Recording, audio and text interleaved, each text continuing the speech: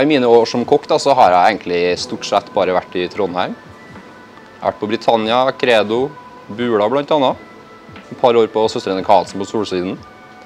Så veldig mange forskjellige kokkejobber egentlig hele, hele tida. Og så tok jeg ett år i London, jobba som kokk der på en litt fine dining-restaurant. Og så var jeg to år på sjøen, bl.a. på Grønland, på selfangst. Svalbard, og så har jeg jobba på fiskebåt utenfor Skottland. Jeg har jo vært i kjøkkenet i mange år, så jeg var kanskje litt, ja, litt klar for å prøve noe annet, rett og slett. Jeg har lyst til å Jeg så ikke for meg sjøl som å være kokk til jeg var pensjonist. Det tror jeg kanskje mange kjenner seg igjen i. Så da tenkte jeg at eh, gartner det er noe, for da får jeg jo fremdeles være å jobbe med restauranter og hotell.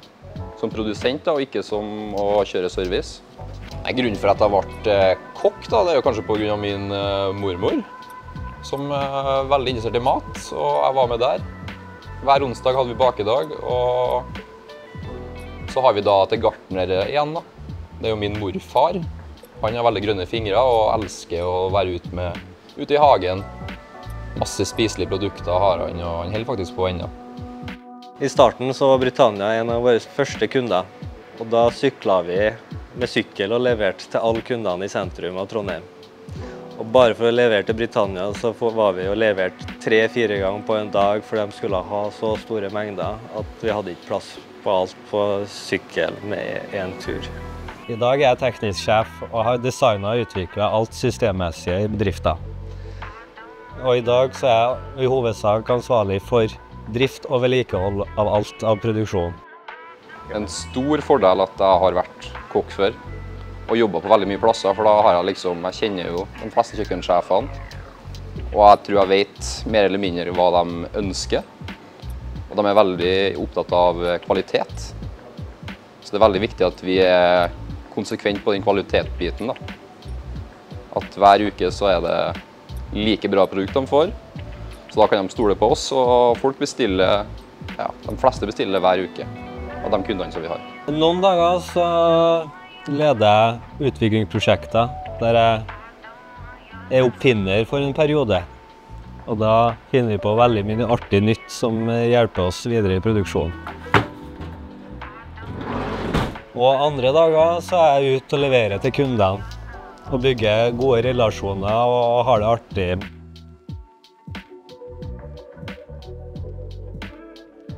Eva kommer først på jobb. da. Hun er morgenfuglen. Så hun kommer klokka seks. Så kommer David klokka sju. Jeg kommer klokka åtte. Så slutter vi da to, tre og fire isteden. Så det er jo litt bra, for da er det jo folk her over en lengre periode. Og hvis det skal skje noe, så kan vi løse det da. En vanlig dag for meg det begynner jo med at jeg kommer inn og ser hva som eh, skal bestilles i dag. Hvem er kundene, og hvor mye skal de ha. Så skriver jeg inn alle nye ordrer, og så tar jeg min eh, kvalitetssjekk da, som jeg gjør hver dag. Ja, En kvalitetssjekk det går jo ut ifra egentlig at de eh, ser normale ut, sånn som de skal se ut. da. At liksom hvis det er noe blad som er litt gul, eller de er litt små, de er for høye, så kan det helt sikkert ha noe med næring å gjøre. Lyset, hvordan temperaturen er i rommet, pH-verdi. Så det er veldig mange faktorer, og det har vært en skikkelig bratt læringskurve for meg i hvert fall. Også når den jobben er gjort, da går jeg over på produksjon sammen med min gode kollega Eva, som er 100% gartner. Og så sår vi ferdig det som skal gjøres, og det er egentlig dagen. I tillegg så har jeg hovedansvar for alt av distribusjon lokalt og internasjonalt til grossister og til lokale restauranter. Ikke si internasjonalt, for vet du. Sa jeg internasjonalt? Jeg, sa, skal, jeg tenkte jeg sa nasjonalt. Jeg. Breaking news. Lokalt og nasjonalt. Ja, vi har jo store ambisjoner for bedriften her. Vi vil jo bli så store som vi kan bli i Norge. Og vi har jo også planer om å levere utenom landets grenser etter hvert. Men først må vi bare passe på at vi kan holde kvaliteten. Så vi må ikke gamble på den. Alt er bladgrønnsaker. Proppfull av smak og rik på farge. Men det kan jeg jo ikke si, for det her er jo ikke rik på farge. Kjært barn. Akkurat som å være, bare være tilbake til sånn apropos før, så tenkte jeg å nei. Ja, men jeg tror fortsatt det her med de som liksom Ja, det bruker det som slags innledning til Nei, sånn skulle vi ikke gjøre det. Så, så skal det ikke være litt sånn. Ja. ja, for det var jo basically Jeg har jo sett for meg det å filme der når jeg holdt på med erteren så mange ganger. Så det var jo en veldig sånn prøve for å se. Så når vi satsa og utvikla The Farm Society i 2021, så starta vi med å bygge en identitet. Eh, Logo, illustrasjon, typografi og ikke minst bilder. Og identiteten den er utvikla sammen med de eksepsjonelt dyktige menneskene i Hugmoon. Eh, to stykker som Jeg møtte dem her når de bodde i, i Trondheim. De studerte på NTNU. Eh, vanvittig dyktig. Eh, gjorde profilen for Cinemateket f.eks. Og jeg, det var basert på de posterne faktisk, at jeg forelska meg i Hugmoon. Eh, og fordyka meg liksom litt i deres verden og bestemte meg for at jeg, hvis jeg skulle gjøre noe sånt som det her igjen, så skulle jeg definitivt bruke dem. Og eh, ikke minst bilder. Bilder er jo noe av det som på en måte skal formidle hele den strategien og den følelsen som vi har lagt. Eh, og da gikk jeg til bransjeveteran og bauta av en fotograf, Ole Ekke. Eh, et av mine mål var å jobbe med kun av de beste av de beste. Og jeg har vært så heldig i og med at jeg kom fra reklame- og kommunikasjonsbransjen til å jobbe med Ole i, på mange ulike prosjekter over mange år.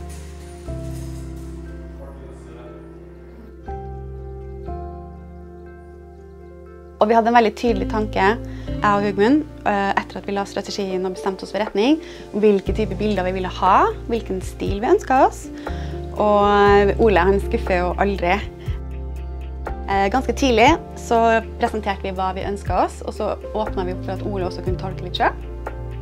Han eh, kom ganske raskt med noen tanker tilbake om å ta det ned på virkelig sånn detaljnivå, makronivå, og så prøve å få fram de ulike teksturene og fargene i, det, i bladgrønnsakene som vi produserer.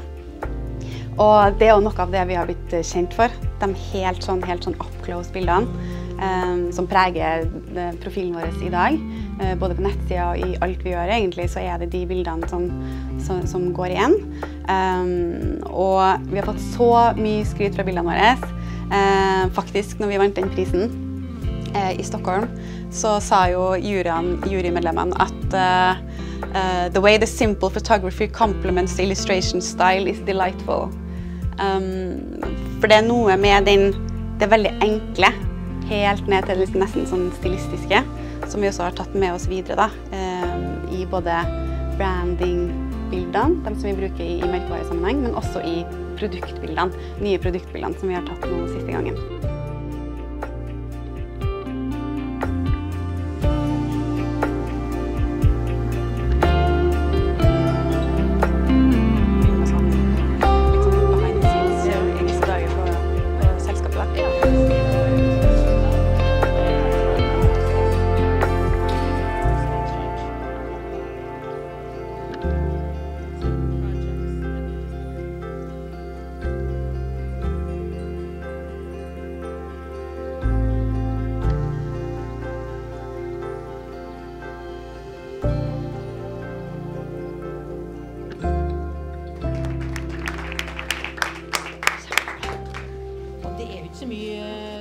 Jord på Nyhavna.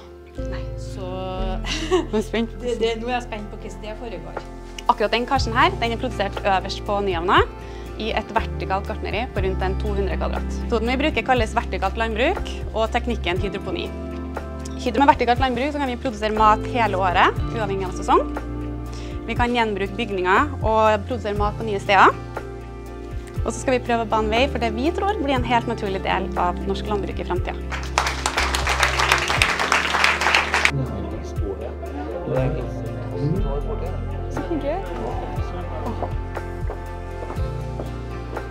Yes. Ja, så det var kjempebra. Men jeg er liksom alltid så nervøs.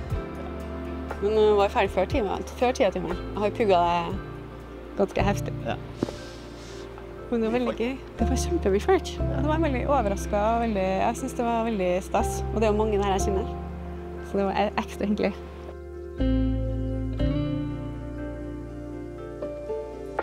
Nå skal jeg klippe noen vareprøver som vi skal gi til en potensiell investor. En investor som vi har gleda oss til å dele med i mange år, faktisk. så har vi egentlig jobba veldig beinhardt og målretta mot om å nå en 100 millioners eh, verdsetting. Og det opplever vi at vi er nå. Så derfor så skal vi rett og slett brette opp armene litt og, og tøffe oss og gå ut og, og hente inn eh, 30 millioner. Så det her er to, eh, to smaksprøver som skal være, sendes med investorpresentasjon. Og det her er reddik. Helt nydelig på smørbrød.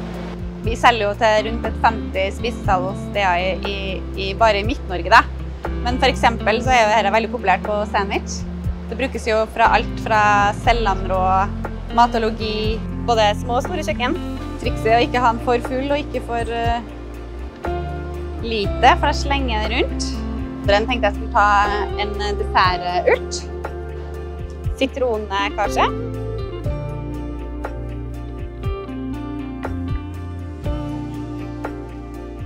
Og litt uh, anisisop. Den her smaker obviously sitron, og den her smaker litt sånn lakris-anis, som i navnet. Anisisop.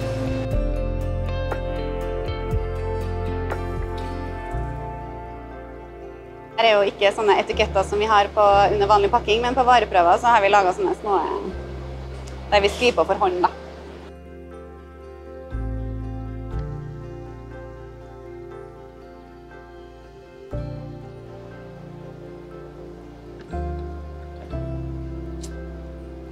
Let's go!